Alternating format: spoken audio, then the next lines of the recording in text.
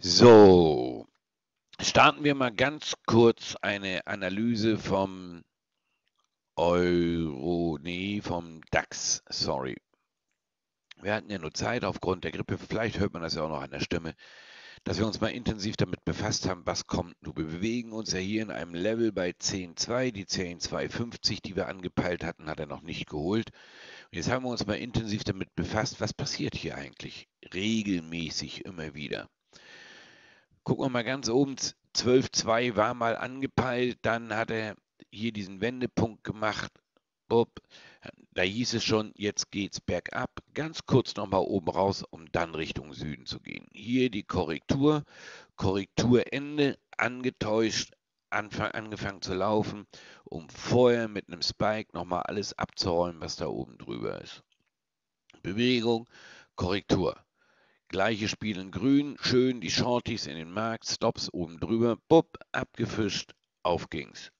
Das klammer ich mal ein bisschen aus, weil wir da die Griechenland-Krise hatten, wo es ja eh hin und her ging. Gehen wir wieder auf die kleinere Fläche, da ein Hoch, Umkehr, bupp, kurzen Spike nach oben, ab ging's.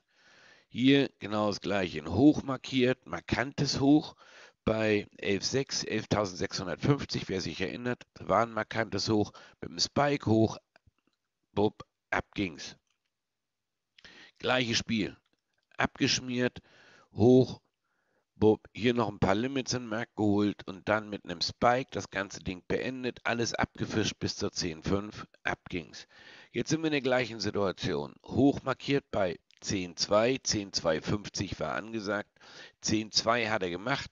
Schön die Shorties in den Markt geholt. Hier drunter noch ein neues Tief gemacht, um gestern hier nach oben zu marschieren. Was passiert jetzt? Entweder gehen wir hier jetzt durch und haben hier eine ganz saubere Aufwärtstrenddefinition. Wir laufen wieder hoch in diesem Bereich 10,5, wenn nicht sogar 10,650 an dieses alte Level.